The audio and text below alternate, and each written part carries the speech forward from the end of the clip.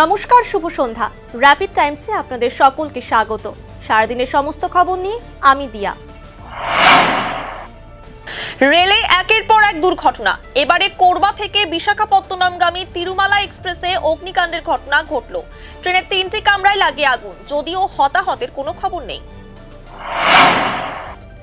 প্রধাননগরের রামকৃষ্ণ বেদান্ত আশ্রমে স্কুলের জমি দখল করে সেখানে তৈরি করা হয়েছিল দোকান।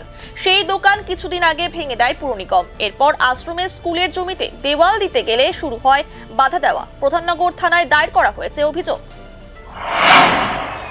চা বাগানের ইস্যু নিয়ে রাজ্য সরকার উদাসীন। বিধানসভায় করা হচ্ছে বিরোধীদের কণ্ঠরোধ। এর প্রতিবাদ জানিয়ে রাজ্যের মুখ্যমন্ত্রীকে চ্যালেঞ্জ করে লোকসভা টিভির ন্যায় বিধানসভা টিভি চালু করার কথা জানালেন শিলিগুড়ির বিজেপি বিধায়ক শঙ্কর ঘোষ। উত্তরবঙ্গ সাহিত্য মঞ্চের পক্ষ থেকে রবিবার শিলিগুড়ির শ্রমিক ভবনে কবি সম্মেলনের আয়োজন করা হলো।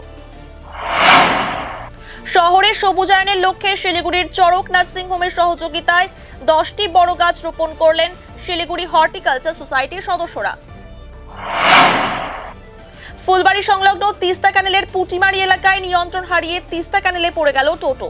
অল্পের জন্য প্রাণে বাঁচল। টোটোতে থাকা কয়েকজন শিশু। খড়িবাড়ির পানি ট্যাঙ্কি সংলগ্ন দুলাল জোত এলাকায় খাবারের খোঁজে এসে তিনটি বাড়িতে তাণ্ডব চালালো হাতি। ঘটনার পর থেকে আতঙ্কে এলাকাবাসীরা।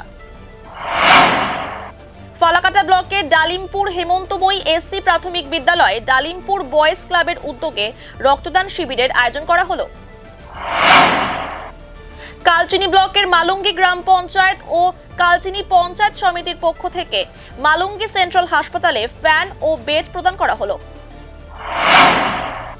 আলিপুরদুয়ার শহরের বিভিন্ন বাজারঘাট পরিষ্কার পরিচ্ছন্ন রাখতে এখন থেকে দুবেলা নোংরা আবর্জনা তোলা শুরু করল আলিপুরদুয়ার পৌরসভা। সারাদিনের সমস্ত খবরের আপডেট পেতে নজর রাখুন শিলিগুড়ি টাইমসে। শিলিগুড়ি টাইমসের খবর আপনারা পেয়ে যাবেন। শিলিগুড়ি টাইমসের ইউটিউব এক্স হ্যান্ডেল থ্রেডস এবং ইনস্টাগ্রাম পেজে সঙ্গে থাকুন দেখতে থাকুন শিলিগুড়ি টাইমস